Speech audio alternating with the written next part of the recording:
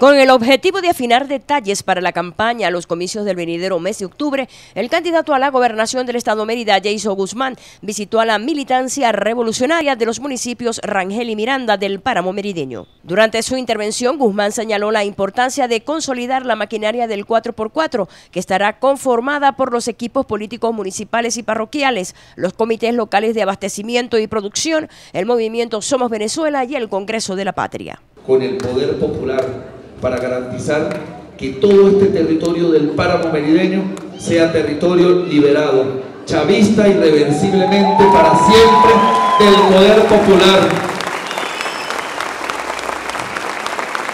Aquí no hay espacio para una cosa distinta que no sea la revolución.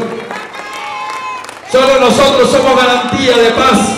Para Guzmán, una de las tareas es defender la revolución en todos los espacios, además de construir una mayoría que les permita retomar el poder gubernamental por completo en el eje del páramo merideño. Tenemos problemas para encontrar insumos agrícolas, ¿verdad?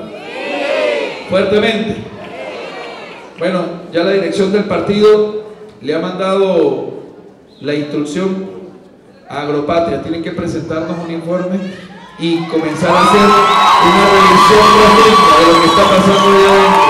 El abanderado revolucionario manifestó que desde la Asamblea Nacional Constituyente se está planteando la intervención de Agropatria para reestructurarla y ésta cumpla con el rol que le corresponde al servicio de los productores agropecuarios.